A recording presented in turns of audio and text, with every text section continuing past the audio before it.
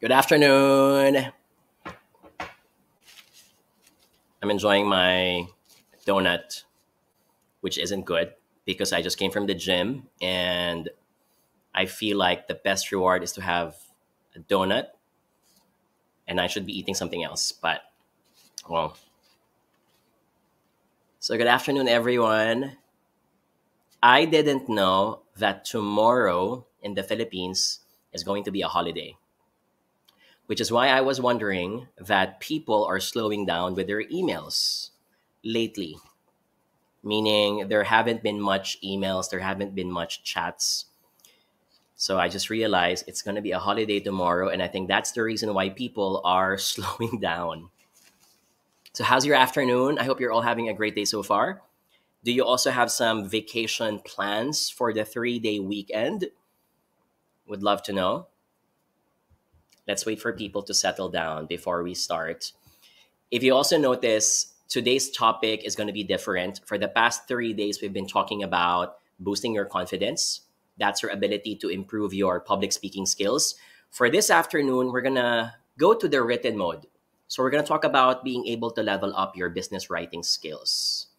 So, I'll be inviting all our participants to ask questions that are related to emails, to chats, to reports, to presentations, anything that requires typing, writing, anything that involves having to read your sentences. Okay? So give us an exclamation mark, by the way. Just want to check your energy. Just want to check if I'm also audible, if I'm all loud and clear. Let us know your city, your province, your country, Tell us your company, your industry, your line of work, just so we get to know our participants better. So Ella says hello. Thank you for joining our session. Karen says need more coffee. You know, I've been drinking a lot of coffee lately and my left lower eyelid has been twitching, which means that I've been uh, drinking too much coffee already. Jur is asking, is this free? Well, did you pay anything to be able to watch this session? Uh, all live streams are for free. Uh, if you're watching that from Facebook, YouTube, or LinkedIn, they obviously are for free.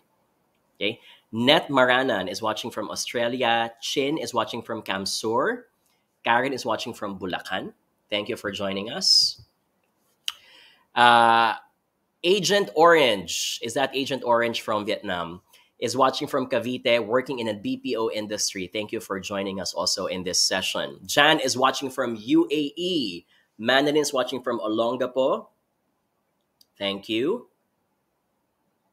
So let's get the ball rolling. I want you guys, while I'm biting my another piece of my donut, I want you guys to please start typing questions about business writing. It could involve a conflict with someone. It could involve simple things such as is it okay to say hello and hey? Should I include a quote from the Bible in my email signature? Is that fine to be written? So, all these things, guys, just keep on typing them. We'll also be giving away free uh, bees, meaning some prizes. Let me just fix my TikTok. If you guys have uh, if you guys are interested to win some prizes, we'll be giving away some tickets to our upcoming workshops on email etiquette and business writing. And as usual, we'll be giving away some 500 peso gift certificate from our sponsor, and that is Osh or Also Healthy Snacks. So stay tuned. We'll be asking some questions later on. The first person who gets my question correct will be able to win. Okay. My Dula is watching from Dubai. Also, hello from uh, Dang. Net says, quote from the Bible. No, I think it's okay to put some quotes from the Bible if you're working from a company that is deliberately religious. It could be a bookstore, it could be from a church, etc. But from a company perspective or a corporate perspective, it's always best to be neutral and rather be secular about it. Okay. Ronald is watching from Muntinlupa from LinkedIn. Mon is watching from Facebook from Asian Land Strategies.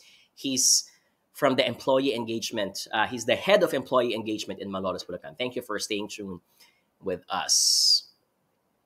Okay. Let's look at some more folks here. Oh, someone here says, I had the privilege to work with you before when you were still with GlaxoSmithKline. Which department? Because I came from marketing. I spent four years of my career in GSK, learned a lot of things about it, uh, specifically about leadership. Because when you're from the marketing team, even if you have to create marketing materials like detail aids for doctors or posters, you have to win the hearts of the sales force who are scattered all around the Philippines. And they see you as your support so that they can get their job done. Okay. Uh, insider information I hated my job in the first three months. In fact, I wanted to quit my job because I came from Globe Telecom before I transferred to the pharmaceutical industry, in this case, GlaxoSmithKline.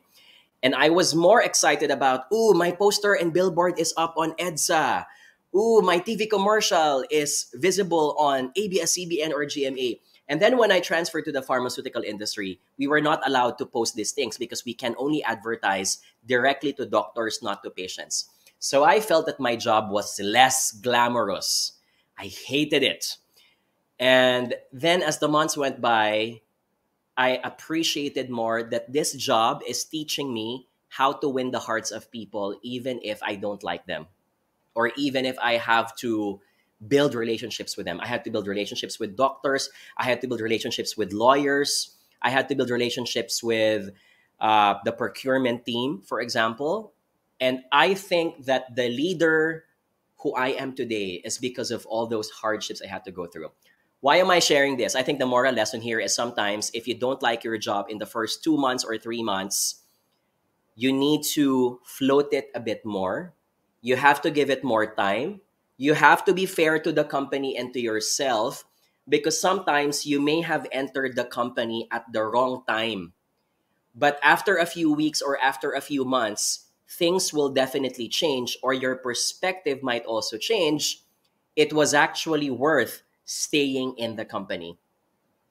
And it could have been the best time of your life.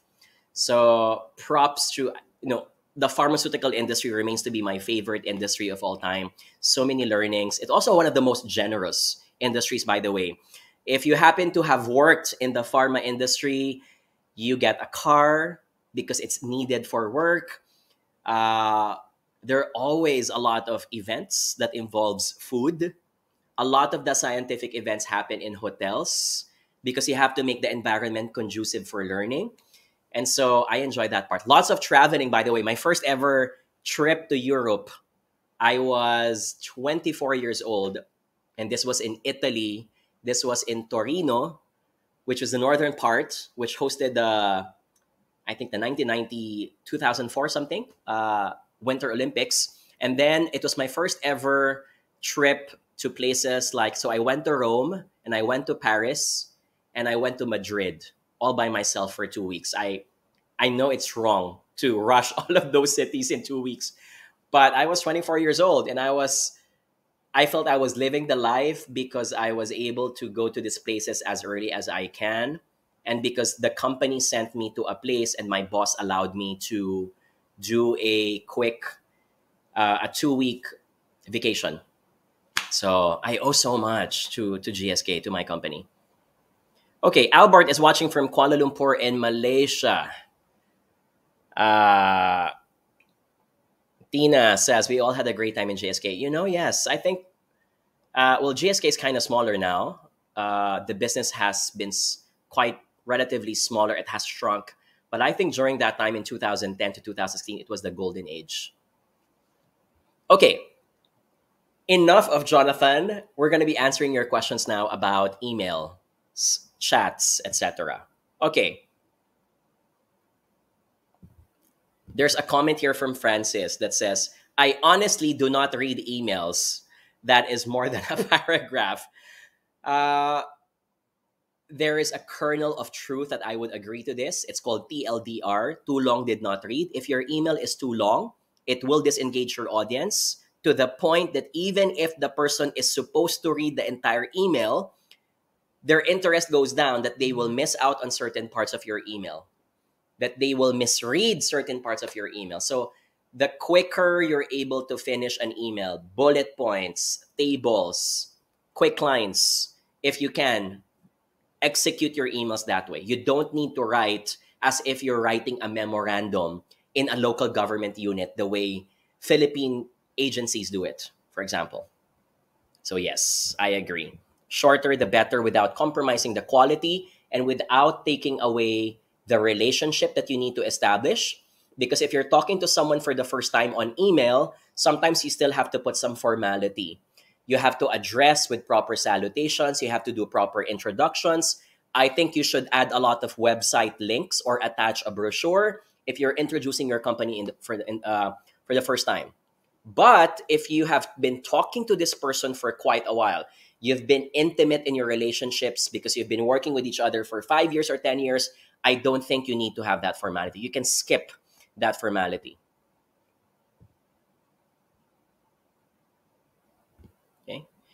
Brevity is the soul of the wit. That is my favorite quote. And there's this line from Tom, uh, from Charles Dickens I am sorry that it took me a while to write my email because it took me time to shorten it. Because it takes time. It's fast. It's easier to write a long email. It's harder to write a short email because you have to edit it multiple times. Because our tendency is to be very verbose. Ooh, there's this comment here from Aya Kobayashi and says, I almost resigned on my third month as well on my current job I already had a start date with another company, but I decided to stay and try to work it out for one month. And now I'm on my eighth year or eighth month and excelling. I'm glad I stayed. Okay. So that's a good in, example. Again, I'm not here to say that you have to keep on pushing the envelope. You have to pu- keep on pushing your patience. If you really think that it's not worth pursuing after two months or three months because the worst things happen to you, then go but I don't think you should make that immediate decision when you have not given yourself proper exposure. Exposure to the people, exposure to the processes, exposure to other departments. It's just like dating. Are you really going to ditch someone when the person has a few promises but has a few imperfections? And what can you do to think beyond those imperfections, realizing that there are other things to appreciate about this person? I think the same thing also happens to building relationships with companies. Okay. I have a question here on YouTube. Okay, question here is John. When I am looping out someone in an email, do I really need to inform everyone that I am taking out that person from the email? Yes, I think you should. It's a polite way of doing so. Plus, there is a functional reason. When you are looping out a person, there has to be a reason why. Is it because you're going to share confidential information later on? Is it because you are mad at this person? The other people need to know because if they're also sharing information, they were assuming all these times that this person was in the loop. And if they were taken out prematurely, then they were wasting their time typing and sending those information. It's also the same thing when you're looping in someone in an email. Please do not loop in someone without informing others. The others need to know because maybe this person must not be in this email thread. Maybe this person is a threat to the conversation because the conversation is confidential. So you need to inform everyone if you are looping in or looping out someone from an email thread. Otherwise, your intentions may be questioned. Okay? Can I get an exclamation mark, by the way, in the chat box if we're in sync with that? By the way, I haven't asked the participants if it's your first time to join us. Would you could you please give us a like or give us a heart? We will appreciate that. That's the only thing we will request from you. It will help us improve our algorithm so we can reach more people. By the way. There you go. Very good. Okay, let me cover this. Um, Mon says, after a while, only basic emojis are accepted. Hashtags should be a maximum of, th- of three. Speaking of emojis, John, is it okay to include emojis in your emails or your chats?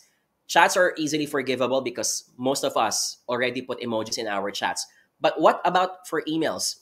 I think it's okay to use it if you have established relationships also with this person when the person already knows you they can hear your voice while they're reading your email. You've been through a numerous amount of projects, so they can understand what is the intention behind that emoji. If you have not yet built a relationship with this person, you're talking to them for the first time, it's a possible client, it's a possible agency, I think you should refrain from adding emojis for two reasons. Number one, some people see it as a sign of immaturity that you're just playing along with your conversation. Number two, not everyone is aware of the universal definitions of smileys.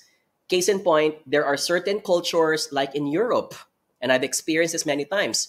When you put a smiley, some of them will think that you are flirting instead with them. And so this might change the way they perceive you, and this might also lessen your credibility, especially if you want to achieve command in your conversations.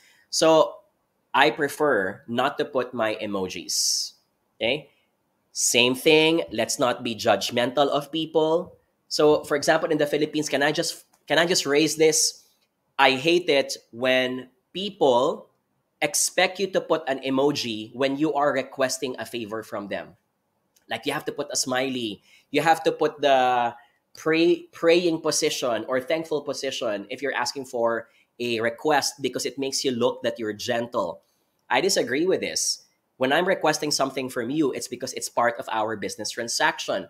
I should not look like I'm begging it or I'm desperate to ask it from you. And if I did not include it, it's not because I'm a bad person, it's simply because I'm efficient. I don't think that an emoji is needed for you to get the job done.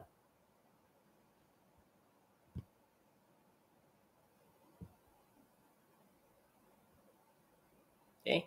Net Maranan says here, uh, yeah, emoji is okay for really close circle colleagues. To outside organization emails, I rarely use it and it's not preferable.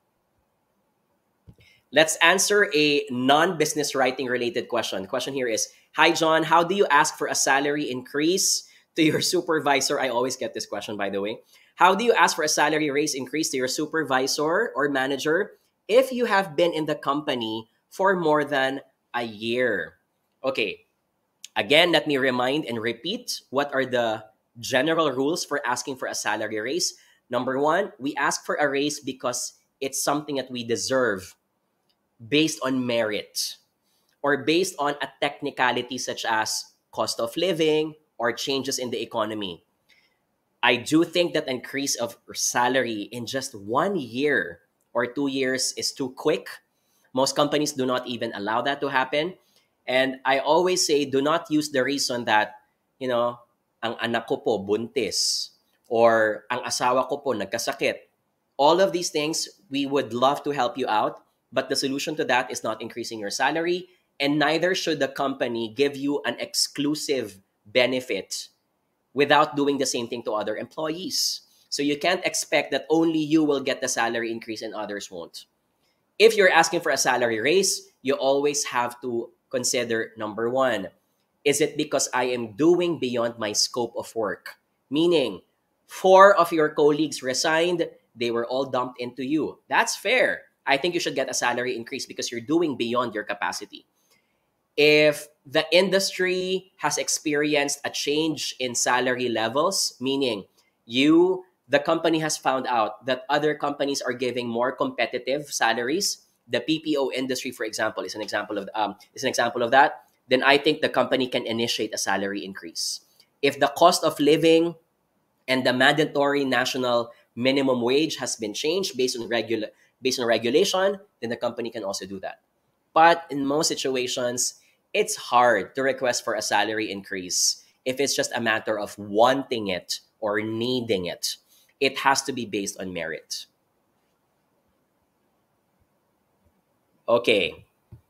Ro- Raynel from LinkedIn is asking this question Would you recommend intentionally making a few spelling errors to make the reader think that it's composed of a real human, not a robot? I no, not at all. I don't think we already live in a time wherein when you send an email, people think that your email is done by a chatbot, right? I think most people would still think that it's a real person talking to them. Plus, at the same time, any simple error is a judgment that you do not care enough on what you're typing. So it lowers your credibility. So I strongly discourage you to make those spelling errors. Okay? And by the way, having a perfectly spelled email is not impossible. It's normal, right? I think a lot of people can do that easily. Shili is asking from YouTube, what is the best signature that is formal? Is it regards, sincerely, etc.? I don't have I'm I'm indifferent to ask to answering this question. I I often used sincerely. I also use the word thanks. I don't think that this is the biggest issue to consider when writing an email. In fact, most people skip this part. So if it's all about making an impression, focus on the content of your main email, not on the signature. Sincerely is fine. Regards is fine. Best regards is fine. This is me. This is me joking. If you write regards, I have an idea how old you are, because usually that's what Generation X would say. Okay, Generation Y or Z would write thanks most of the time.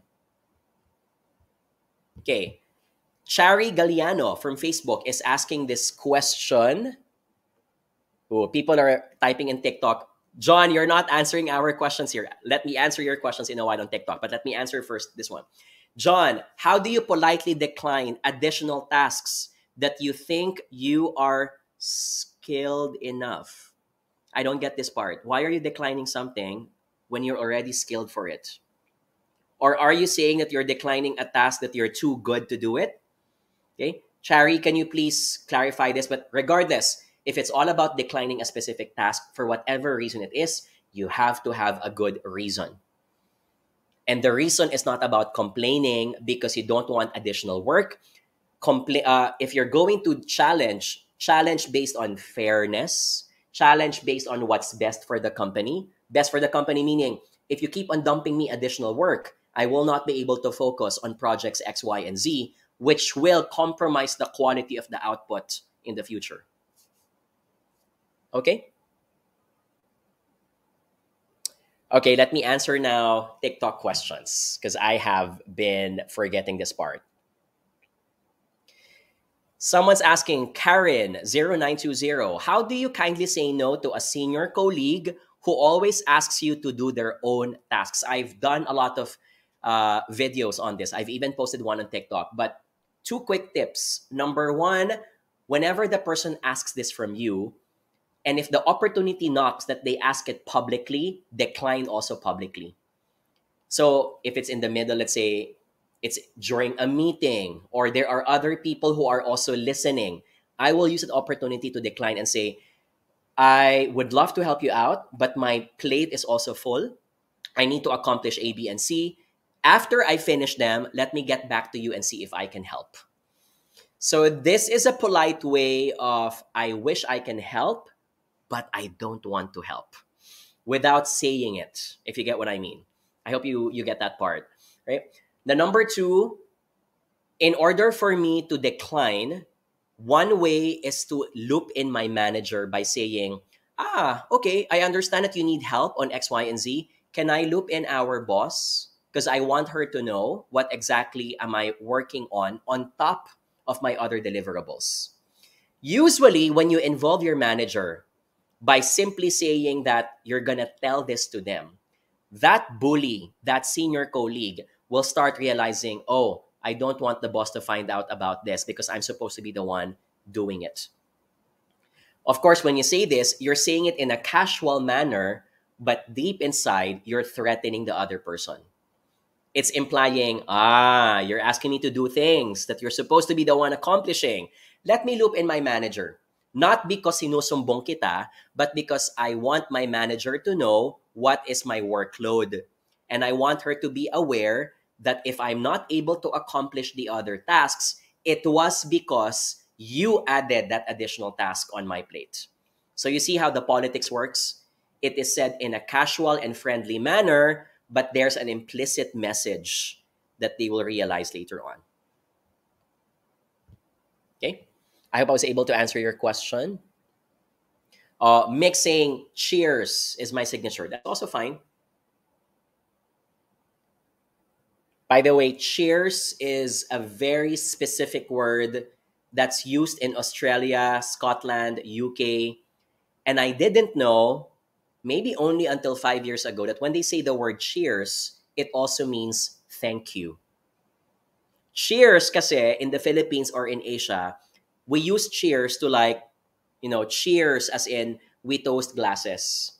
Cheers in other countries, such as in Britain or New Zealand as well, it means thank you. So when you've done something to someone, they'll say, ah, cheers, mate. So be careful about that because there's a different context of conversation.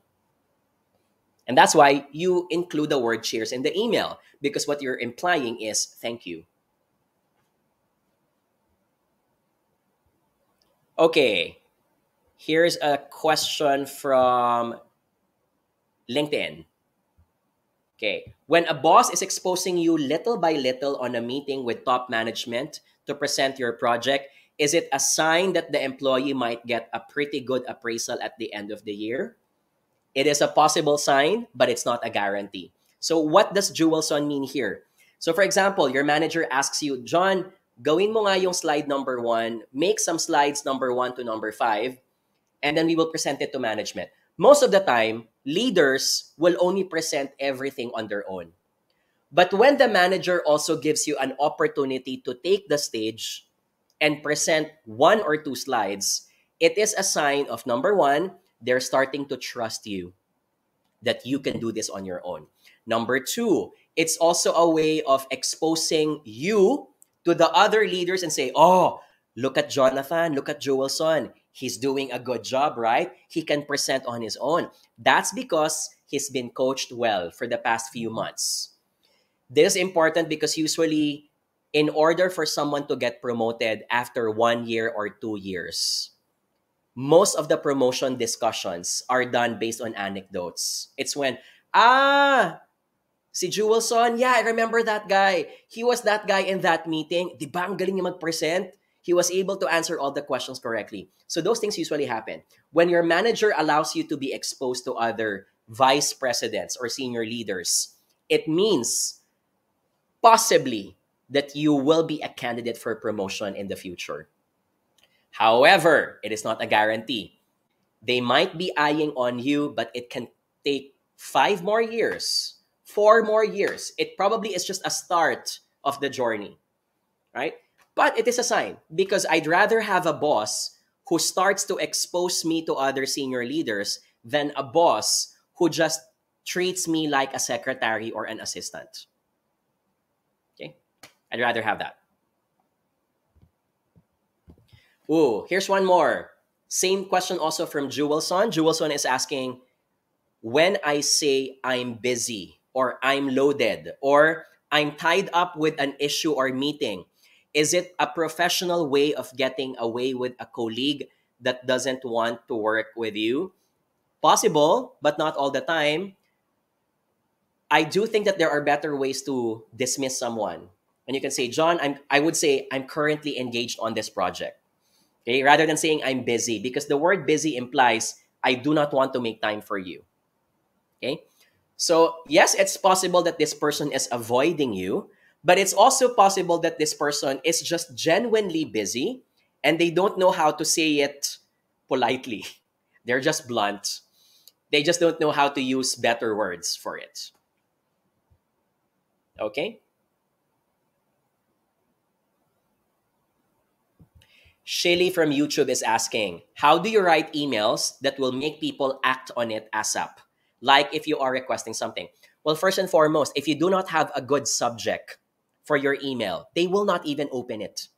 If you have a very long subject, or if your subject is so vague, so for example, you use the word Project Jonathan, there are other employees in the company who are also working on Project Jonathan, or whatever name of the project is. If you're going to use that, you're competing for attention with other employees sending a similar email with that same name. So there's going to be a lower chance that they will even open your email. Remember, subjects, subject lines are like the advertisements.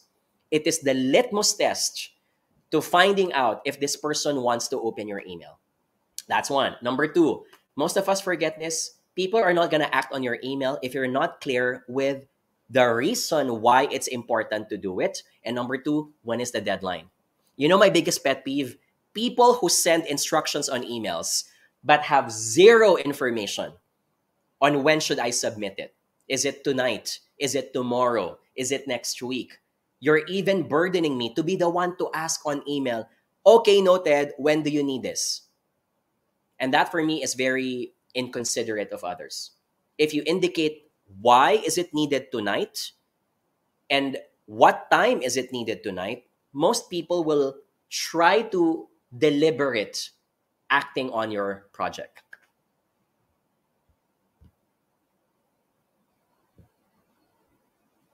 Okay, another question from LinkedIn from Christopher Ceresa. Hi, John. Is it generally accepted to acknowledge on the team leader's email, including everyone in the original distribution list? Is it generally accepted to acknowledge on the team leaders? Sorry, I don't get this part.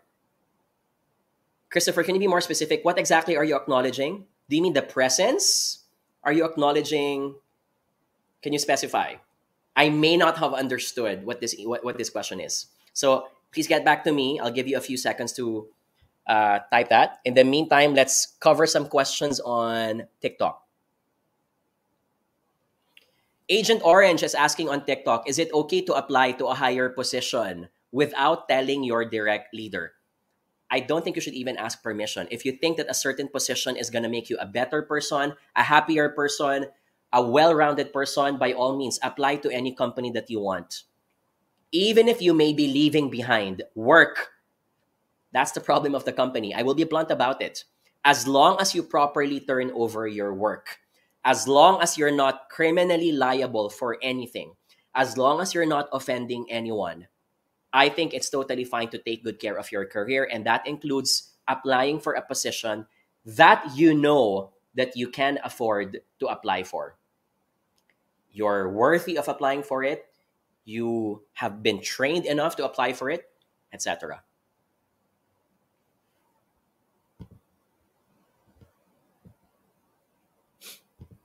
Ranel on Gmail. Is it collect is it okay to collect emails in Google and send an email blast. The Philippine data privacy law states that when you are sending an email to someone, it should be based on consent. So, no. You know, I mean, in real life, it's not like someone's going to file a lawsuit against you that you are spamming because it's not worth the effort and the cost.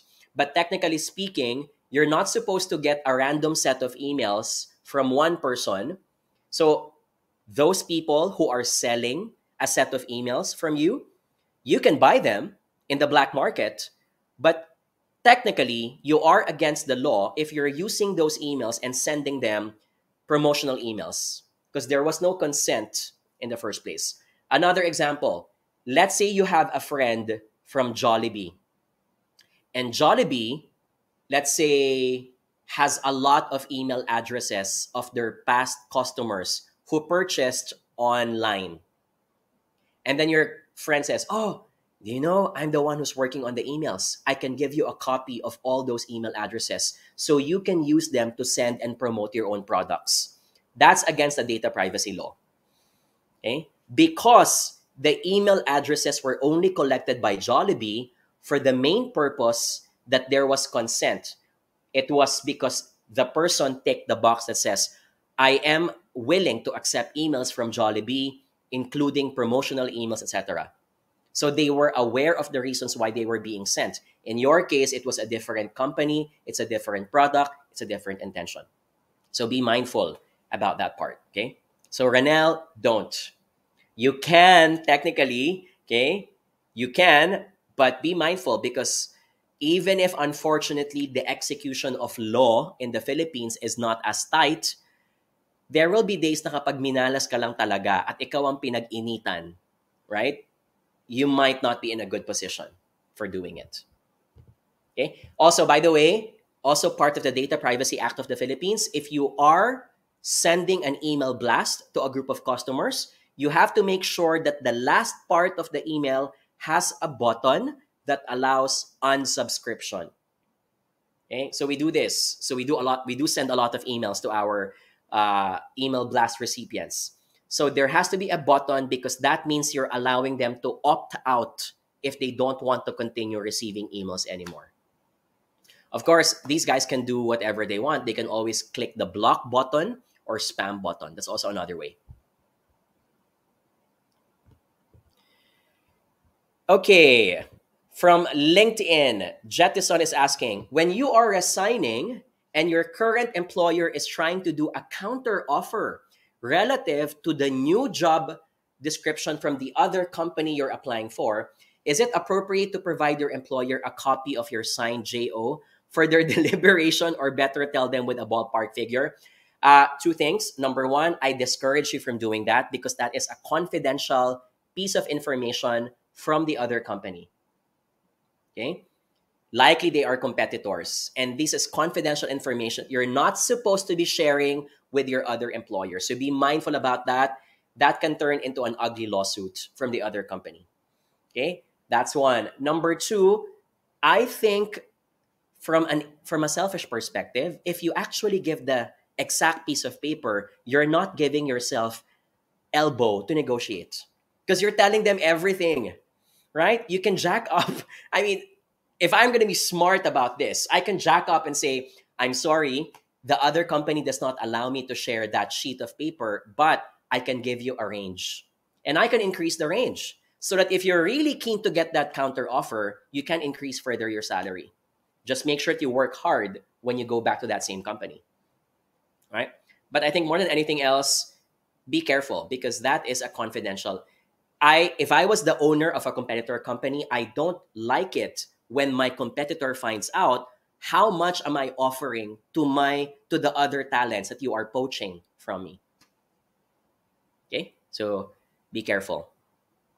A range will always be good. And I need to highlight this for everyone when a recruiter is asking for your exact salary during your job interview, you have all the rights to decline and say, I don't feel comfortable sharing that information, more so because I also think that it's confidential information by the company I'm working for. Because that is intelligent, that is competitive intelligence about how they treat their employees. What I can give you, however, is a ballpark estimate. This is important so that you can increase the ballpark estimate if you're applying for a 20 to 30% increase. Okay? By the way, it's also a red flag. For me, this is a red flag. Ah. If the HR recruiter is asking for your salary, exact salary or payslip, I will have an automatic conclusion that is a very backward company. It's a company that thinks that your value is based on your last company's performance. It's a company that is lazy to assess you properly and evaluate you properly, that the only way to determine your salary is to base it from your last month's payslip. That's lazy. That is absence of due diligence.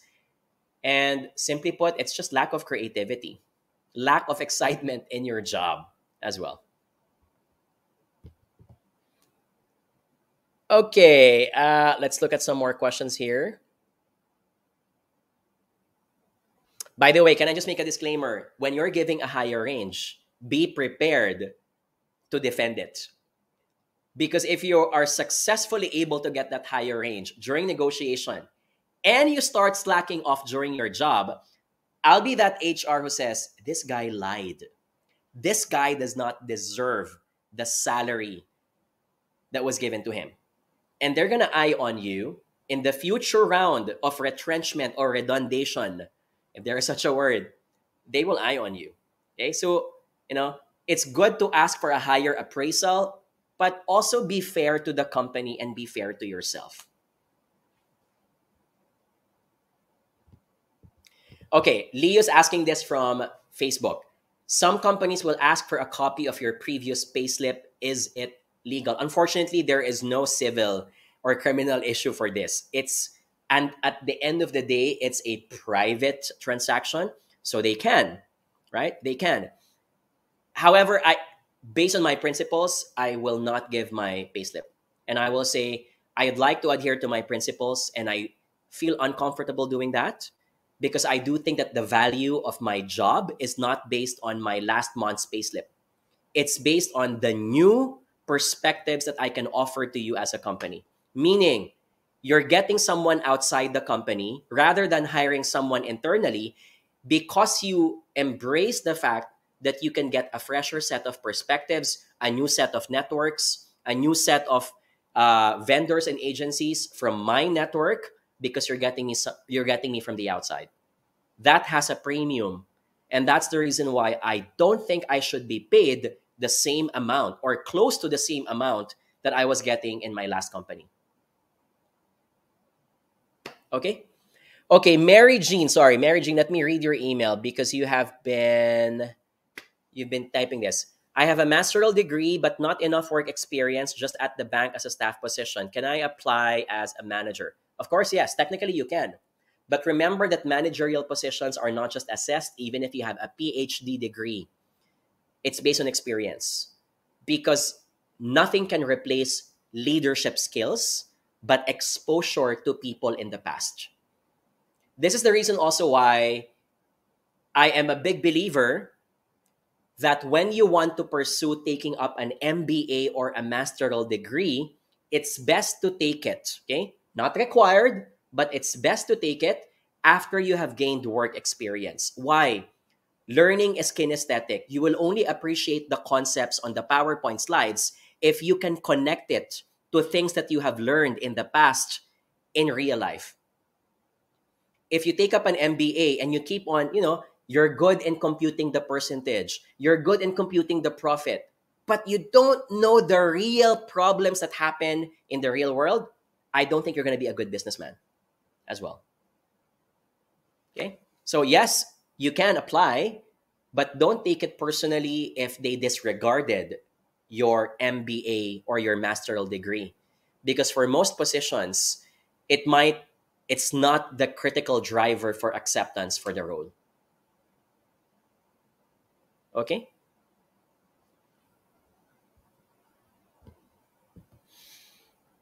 Okay, EJ Manalansan from TikTok is asking Is 30% increase in moving to another company good enough? Yes, I do think so. Most companies will only regard you to 10 to 15%, 20 to 30% is relatively generous. Again, mathematically, this will depend on the absolute value. 30% of 1 million peso is too high, so it doesn't happen often. Usually, that increment is going to be 2% or 5% because the absolute value of 1 million is high.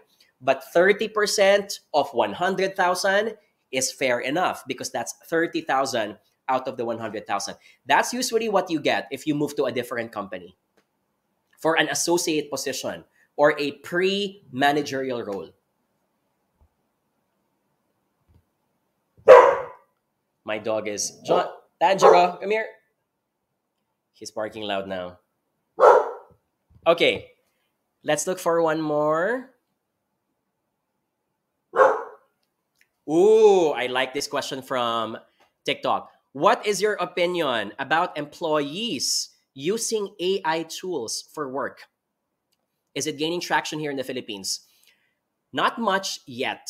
I do think it's dependent on the industry. So I think in the creatives industry, I think in the BPO industry, AI is definitely getting a lot of traction because there's immediate benefit to using it. I don't mind if my people are able to use AI. However, I also do think that there has to be a level of fairness. So if it's all about being able to write a proper email using AI so that they can clean up their grammar. Grammarly, for example, has been here for almost a decade now, and it's AI. Most people forget that. It's an AI driven tool. I don't mind. But I want them to also understand the reason why there were mistakes corrected by Grammarly. Right? I don't mind, for example, if in order to craft a video, you had to use an AI tool.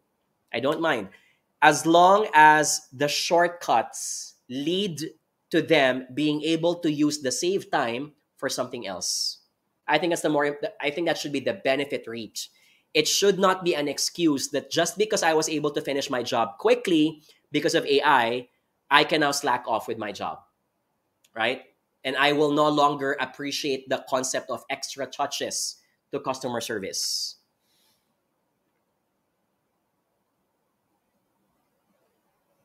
Ooh, at Neil is asking from YouTube, is it okay to remove carbon copied people? I mentioned this a while ago. If you need to and if you have to, you have to justify to the rest of the audience members reading the email why did you take this person out? Okay? Yeah, there has to be a justification. Okay, let's read some more questions here. Renz JLo asking, as a manager, are you really required to pay for the trainings you have not taken when you resign? Bond issues. Um, I have never heard of this. And if someone does this to me, I will call it out. I do understand that there are certain companies wherein you sign into a contract that when the company gave you a free certification course, let's say the certification course is for uh, Six Sigma, which could be, let's say, 10,000 pesos or 20,000 pesos. And the contract says if you leave the company immediately in the next two years, you have to be the one to pay back for that bond. Okay, so that's fair.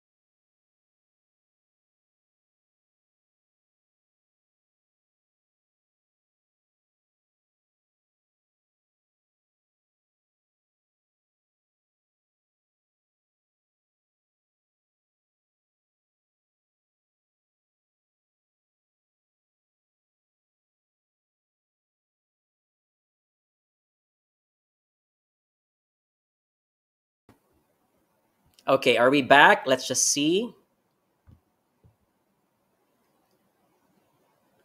Any tips for young managers? Says, hey, Carniv, um, have this mantra that my way isn't the only way.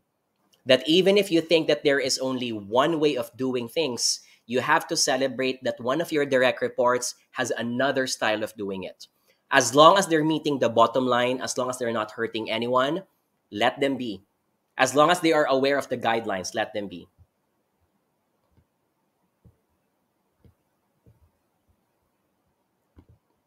Okay, here's one more. By the way, can I just request folks on Facebook, LinkedIn, and YouTube give me an exclamation mark? Just want to check if you can now hear me loud and clear because I was, I got disconnected for a few seconds. Okay, let me answer this question now from Art Neil again on YouTube. Is it okay to not to choose to immediately reply to your manager's messages if it's after work or rest day? This is a tricky question because it involves politics and relationship, meaning if you have not yet established relationship with your manager, meaning you're only been working with them for a few days or a few weeks, I think it's time to make a good impression first. Which means that if they're asking for something way beyond 6 p.m., I would probably request, I would probably do a little bit of the work. And then afterwards, I will request and push back and say, is it possible to get back to you on this tomorrow? Right? Or I am currently engaged for dinner with my family. Is it possible to get back to you on this tomorrow? Right? When I say not immediately reply, it may mean ignoring the email or ignoring the message. So sometimes you may want to let them know that I received your email, I got I, I've taken note of it, but because it's already out of it's beyond dinner time or it's on the weekend, let me respond to this next week. Because most managers, if they really want to push it, they will ask you to get it done immediately. And remember, ha, some managers will give you projects or tasks not because they want to do it immediately in the next two hours. They're saying it to you because they might forget about it. So do not be pressured all the time that you have to work on that project as well. Sometimes you have to be bold and brave and tell the manager, noted on this, do you need this now? Or can I first prioritize the other items that I need to accomplish? I do that to my managers because your managers are also, they're humans. They will not remember everything that you're accomplishing or you're doing. So you have to remind them of your own plate as well. What is your take on being a micromanager? Here is a question from theirs. Two things. I think at the beginning of someone's career, when you're still hand holding, mentoring, and coaching them, micromanaging is a good thing. I will not call it as micromanaging, I will call it as hand holding. But when the person has finally proven that they can get the job done after a few months or after a year, you have to let them go. Because one of the primary motivators for any employee is autonomy the ability to get things done using their own uh, style, using their own ways of doing things. Okay, let's look at some more answers. Let's, uh, we're nearing our first hour now. Let's go. Is it okay if I can give away some prizes now? Can I get a letter R in the chat box if you're cool with that? So I'll be giving away some tickets to our upcoming workshop. This is on April 29. Speaking of email etiquette and business writing, I want to give away two tickets to our upcoming workshop. This is at the SMX Convention Center in SM Fort BGC in SM Aura. All you need to do is to answer my question, and if you get this right, I'll give you a ticket. Okay? All cool? Yes? Okay, so I'll be asking a question now. Uh, I love trivia questions. So we're going to be asking a question that will test your memory, maybe about, is it about your childhood or anything else? Let me think of a quick question now. Okay. So here's my question. We'll be giving away one ticket for YouTube, for LinkedIn, for Facebook, and for TikTok. Because we have a lot of viewers on TikTok, I will choose two winners instead. Is that okay? here's a tip. We don't have much viewers on youtube. So if you want to win a higher chance of winning is to answer this on youtube instead. Okay? All good? Yes. All right. So here's my question. Where the trivia is about words what is the first animal that you can see in the dictionary what is the first animal that you can see in the dictionary Okay? I'll give you a few seconds. We'll give one winner each in each platform. On TikTok, we'll give two winners. What is the first word that you can see in the dictionary? Wow, you guys are fast. The correct answer, ladies and gentlemen, is aardvark. You can Google that, by the way. It's an aardvark. So it's like a reptile. Um, and my winner, ladies and gentlemen, the name is Giovanite on TikTok. Giovanite on TikTok. My second winner is Lavender, also on TikTok. Congratulations. So you each get one ticket to our upcoming workshop, Email Etiquette and Business Writing on April 29. That is 2 o'clock to 5 o'clock p.m. Okay. I am showing the on Facebook, LinkedIn, and YouTube. I'll be able to show here the there you go. I'm showing here the poster. That's April 29, 2 p.m. to 5 p.m. The ticket is worth 1,799 pesos, but I'll give you guys free ticket. Congratulations. Let me call out now the winner on Facebook. My winner, correct spelling dapat ha. I cannot call out folks who are giving the wrong spelling. My winner, ladies and on YouTube first. My winner on YouTube is Chari Galliano. Congratulations. My winner on Facebook is Mary Grace Ramos. And my winner on LinkedIn is Ranel Gomez. Congratulations. So, all of our winners, please send me a private message and we will give you instructions on how to claim your prize. I hope I get to see you face to face on our session, Email Etiquette and Business Writing, at the SMX Convention Center in SM Aura, Fort BGC. April 29, 2 to 5 o'clock p.m. If you'd like to get tickets, we'd love to have you as well. Uh, we're going to have it, uh, the tickets are available at jonathanyabut.com. Okay? All right, let's capture some more questions from our participants. Let's see if we can. Uh, I think we can spare three to four more questions before we end the session.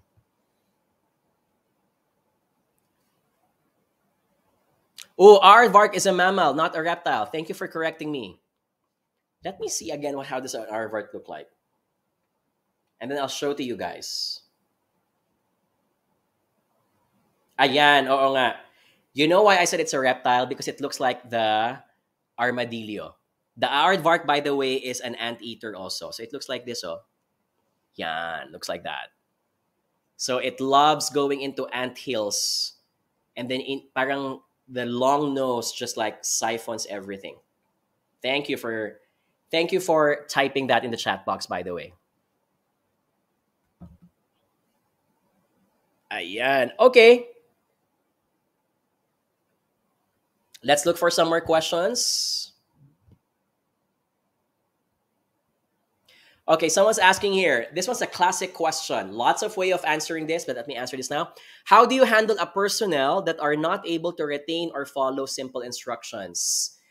A lot of things. Number one, how was the training? Sometimes you often think that it's so simple, but that's because you are smart. They're not. Sometimes you think it's so basic, but that's because you're the manager and you've been doing this for many years. They're not and so when you put yourselves into their shoes, you have to identify what could be stopping them from getting it done. So extra training, extra one-on-one conversations. Usually as leaders and managers, we often think I don't have time for that. They were already hired. They're getting paid for it. But your goal is not just to instruct. Your goal is to coach and to mentor. You have to embrace that as part of the responsibility, as part of the time. Okay? Uh, some people are telling me I answered the, I, I answered first correctly. I'm sorry, but I'm only checking the first ones that come out of my chat box. So it could be a difference in the timing. Okay. How do I deal with a missing in action manager? Okay, have you ever talked to the manager? And have you ever talked to the boss of the boss or to the boss of your manager? That includes HR. Usually, when someone's MIA, it is already out of your control. It is something that someone from the management should be controlling. And usually that also includes their boss. Aardvark is not an animal, it's an avatar. okay. Okay. Um, how do you work with nosy people? I just let them be. It's not my problem if they're so interested with my life and as long as they're not spreading rumors about me, I will let them be. But if they do spread rumors, I will call them out. I will confront them and I will even tell them that these things are not only damaging to the morale of the team, it's spreading lies. It's not something that I was raised for by my mother. I will have that conversation with this person. Okay. Someone's asking John, what about the price for the 500 peso gift certificate? We're to give that in a while.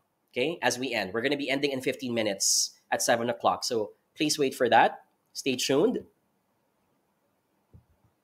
Okay. From Jewelson's very active on comment section now. So let me answer this. John, another question. I need your comment. Do the HR folks nowadays are they naturally liars? Are they trained to do it so that they can protect the interests of the business? Not sure, but I notice it based from my friends' stories during our coffee dates. I think that the higher your position is in the company, you have more vested interest to protect the company. So white lies and black lies are going to be there. I don't think that there is a way for us, however, to measure that all of HR folks are like that. Because I do have lots of HR friends who will always put integrity first before the interest of the company. And that's totally fine. So maybe this is just a random sample bias. It does not represent all of the HR folks. I do think that you just happen to be exposed to people who have these experiences. Okay? By the way, important yan ha the random sample bias is when the people that you are referring to as the generalization of your experience is not representative of the total population. So for example, pumasok ka sa office and you started taking the train, you saw four or five people who are wearing polka dots. And you're taking the train to Makati. And you say, why is everyone wearing polka dots today? That is only specifically to that area of the city, maybe to Makati, but it does not reflect what's in Pasig, what's in Mandaluyong, etc. Okay? But we start thinking everyone is doing it. Okay? That's a random sample bias. Okay. Shilly is asking, how do you write a resignation letter for reasons of career growth? First and foremost, let me correct that. You do not need to write whatever reason it is for resigning.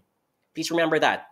You are not obliged, neither should you make yourself feel responsible that you have to indicate a reason for it. Because resignations, as I always say this, is an FYI. FYI, I am resigning. You are not asking for permission. So they don't need to know.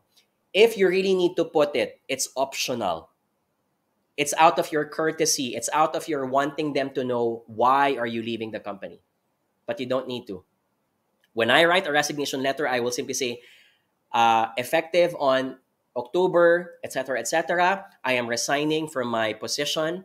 And then i can put some palabok words just to make it nice and rosy. And i will say i thank the company for the opportunities and i thank my boss etc etc that's it.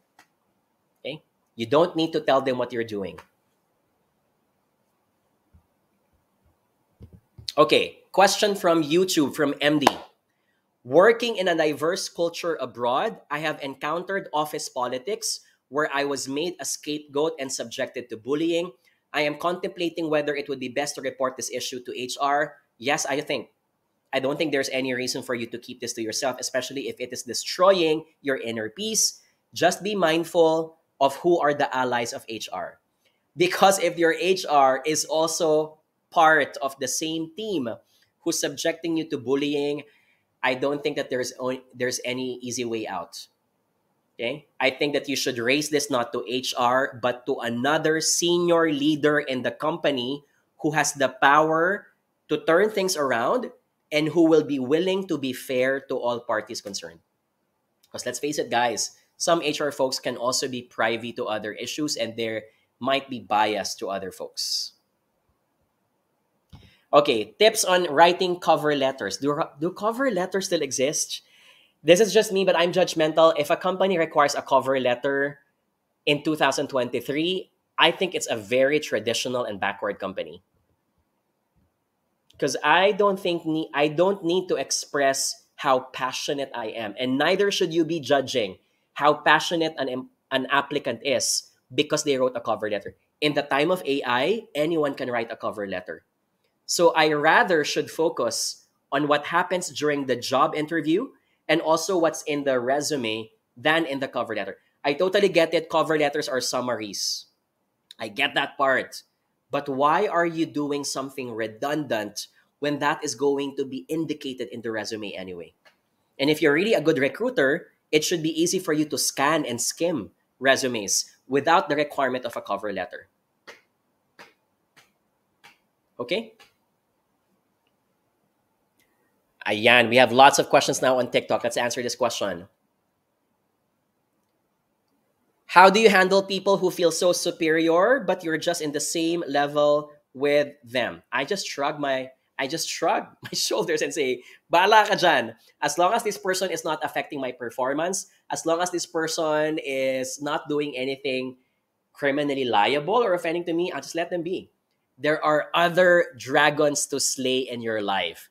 There are other Netflix shows to binge. There are so many cities and countries to travel. Focus your attention on that. Okay? If you're letting this person rent space in your head because you think about them too much, ikaw ang talo. Okay? Okay, let's look at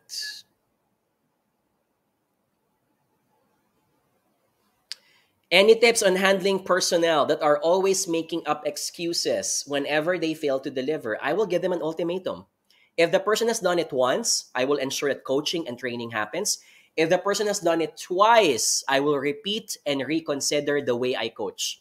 If the person has done it three times or four times, that's when I will share my observations and say, John, I have noticed we have been doing this repeatedly for the X time, but I have not been seeing progress.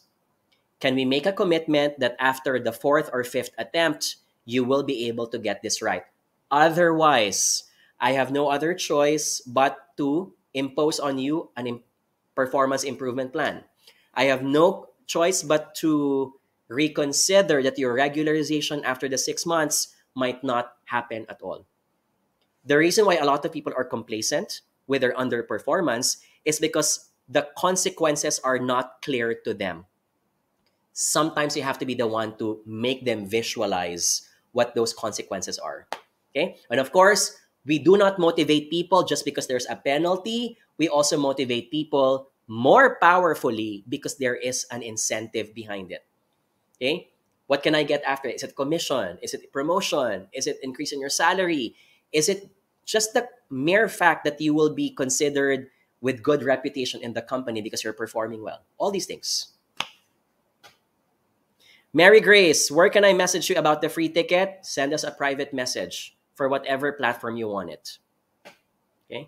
Other right? Because Mary Grace, there's no other way. I will not give you my physical address for you to knock on my door. You're talking me, you're talking to me on Facebook, so send us a message on Facebook. Ooh, okay. Classic question. Let me answer this. Hi, John. During interviews for a job, will there be disadvantage to mention that you're looking for a new job because you lost your current job due a uh, redundancy. Not at all. The reason why you lost your job is because it's a structural reason. It's not because you were underperforming. It's not. It's. I think it's totally okay to be honest about that. Okay. I think that there is more risk to lie and to say I'm looking for a new job because I'm looking for greener pastures because HR folks are good investigators. They will find out about this at later on. Okay? And so if they find out about this, it will give them a tinge of doubt. Why did you have to lie about it? So just say it. I was redundated because the company had to do restructuring and I am still passionate in what I do and I'm looking for a company that can match those passions and values. Okay? Now, if you're being discriminated because you were redundated, I don't even think it's a company worth pursuing because they don't know how to measure and assess the talented employees. Okay. Okay, uh, here's one more question. How do you express assertiveness to clients without sounding rude? Says user127 on TikTok. One way, without even changing your choice of words, is your voice. The deeper your voice sounds, the more commanding you look. That's one. Number two, when you're negotiating, do not speak too many words. Lesser words, better. Because it means that you are solid, you are assured of what you're saying.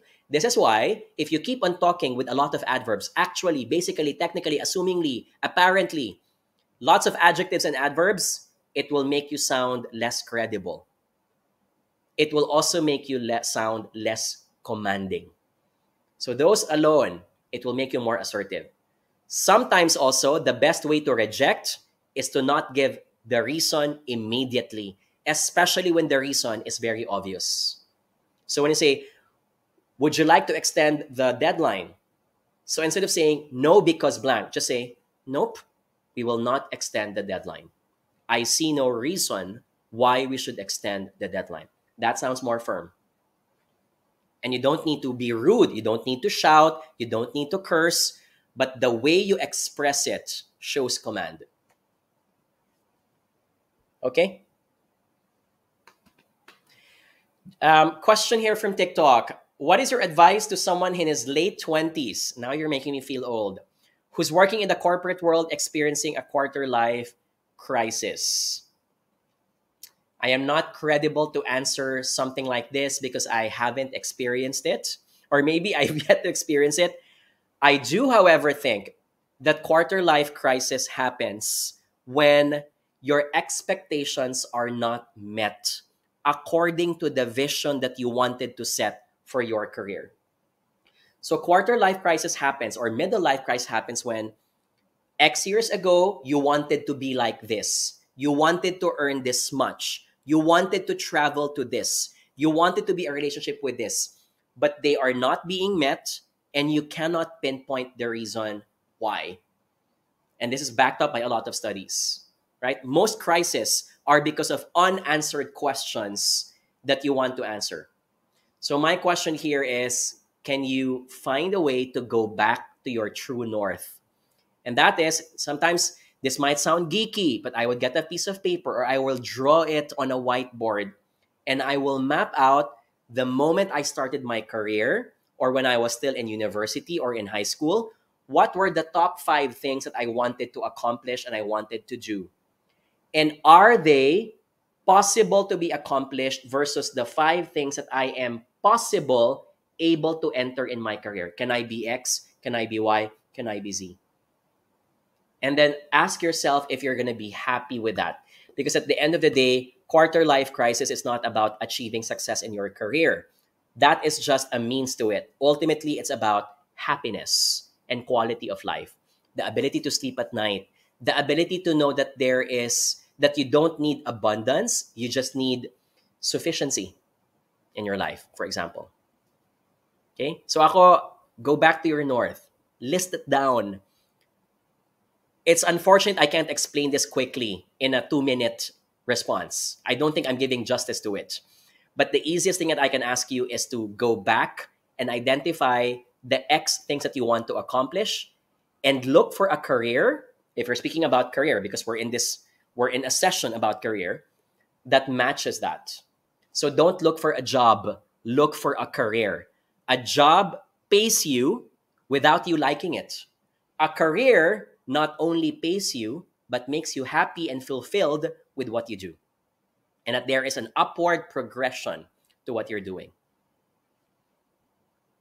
Okay? All right. Last three questions. Let's cover this. From Claire Ballesteros. John, I would like to know how to approach an employee who is so smart during the interview, but her performance during her probationary period is really disappointing. That's ha- this happens a lot. You know why? Some people are very eloquent and it masks their incompetency in real life. So before I answer this question, can I give you a moral lesson here?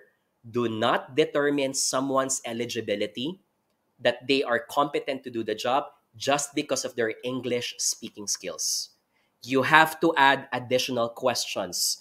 You have to add case simulation questions in the job interview. Make them do the job, make them craft PowerPoint slides, make them craft situational spreadsheets. That's a better way to know if the person is worthy of being accepted. But number two, I will put this person, I will put this person in, in an improvement plan, a PIP. And I will tell them that there are there are things that are not meeting up to expectations it's a matter of confronting the person because if you don't tell it to them as early as you should, it gives them a wrong idea that they might be performing well even if they're not. Okay? So I will use that same sandwich technique. I will share items that are worth praising. John, I appreciate X, Y, and Z. I've noticed you do X, Y, and Z. But there are things that I also want you to first meet in order for you to be eligible for the probation. And then I will share the negative parts. This is important because I think most employees who are new are looking for appreciation and validation. And they need that extra umph for them to be able to move on. So, wag lang puro negative. You have to share the positive parts and then afterwards cover the negative parts. Okay? By the way, here's one tip ha. When you do that, do not spend too much time on the positive part to the point that it overpowers the negative part. Because they will keep on thinking, ah, okay naman pala ako. There are items that the company likes. So I, I think my bad sides are forgivable. So that's a big no-no. Spend a few moments only on the positive, but focus the entire time of the conversation on the negative that needs to be improved. Okay? Okay, last question. Ooh, I feel so bad with this question. What do you do when you don't have any trainings in your new job? You just don't know what to do. Oof. I made a lot of videos about this. What do you do if you have a mentor or a boss who doesn't want to mentor you? What do you do if you have a company that doesn't have a structure for training? So, two things. Number one, embrace the fact that you have to do things on your own. You have to hustle. You have to train yourself by asking questions proactively from people in the company. Look at other senior leaders, look at your vendors and agencies, look at your other colleagues. And sometimes, even if it irritates them, just go. As long as you're learning something from them and as long as they're not asking you to stop, keep on asking. We live in a world wherein you can learn a new course anywhere on YouTube, on TikTok, on Facebook. I would resort to learning more from those platforms. That's number two.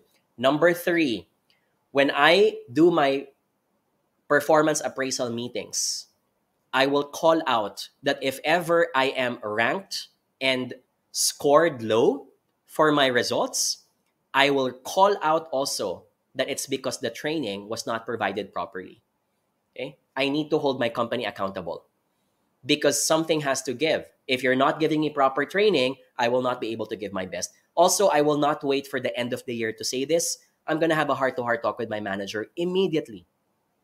I'm also going to ask my other colleagues if they are experiencing the same thing. Because sometimes you need to validate, ikaw lang ba ang tinitreat na ganyan?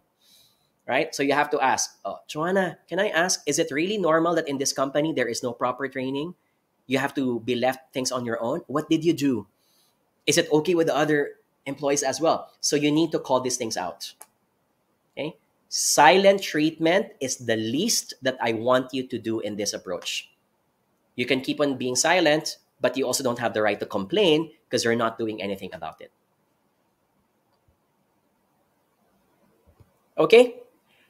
I would love to answer your questions more. We'll do that tomorrow. We'll do another live session. But for now, I need to give away our prize from our sponsor, and that is OSH or Oh So Healthy Snacks. Can I get a letter O as in Oh So Healthy if you guys are ready for this? We would like to give 500 pesos worth of gift certificates from Osh. I will only select one winner. It can either be from TikTok, it can be from Facebook, LinkedIn, or YouTube. So these are fun flavored snacks. You can see this in grocery stores. You can also see them in Starbucks and in Coffee Bean at times. Okay? These are fun flavored snacks made out of dried fruits and vegetables. They are baked, not fried. They're also gluten free. Diba? Pwede ba ako magpatalastas? You know, by the way, what's my dream job? I haven't done this. I've done it for a few hostings, but sometimes my dream job is to become a voiceover for a product. I think I can do a good job. Or, oh my gosh, this is a dream job. I want to do, I want to be a voice actor for an anime because I love watching anime. Like, kung merong, if there's a Filipino or English dub for Demon Slayer, or for Jujutsu Kaisen. I would love to do that. Okay, uh, I'm digressing. Go back now. So my question is this: You guys are ready? Give me a letter R if you guys are ready. I'll be asking a question now. If you get this right, you'll be able to get the 500 peso gift certificate. Okay, my question is this. It's again another trivia question. I love trivia questions. Uh, when I was in high school, I joined Digital LG Quiz at GMA 7 and even went far as quarterfinals, by the way. Okay, this was a question asked during our round. Question is this What is the most used vegetable in the world? Most used and most consumed. What would that be? Okay, while we're waiting for your answers, Tanjiro, come here. Let's show your face. Let's select a winner. What is the most used vegetable in the world? Let me look at the chat box now. Okay, guys, paunahan to ah. It's the first person who gets this correct. And sorry, this one's only eligible to folks who are in the Philippines. So, the correct answer, ladies and gentlemen, is it's not tomato. It's not tomato. The correct answer, my winner. The name is Dizon Gale. Dizon Gale. You're the first one across all the chat boxes. The correct answer is it's the onion, which is also my favorite vegetable. Very versatile. Salads to uh, stews to wraps, everything. So, uh, Gail Dizon, that's your complete name. Would could you please send us a private message so I can send to you instructions on how to claim your prize? Congratulations. Okay. So thank you to everyone. Thank you for joining us. I had so much fun answering your questions today, and we'd love to see you tomorrow. Um, maybe I'll go online. I don't know maybe nine o'clock or eight o'clock. I don't know. I know I have a dinner tomorrow. I'll just find a way, or maybe on Saturday we'll we'll find a way. Okay. So stay safe. Have a for folks in the Philippines. Have a great long weekend and continue learning. The world is your oyster. Bye, guys.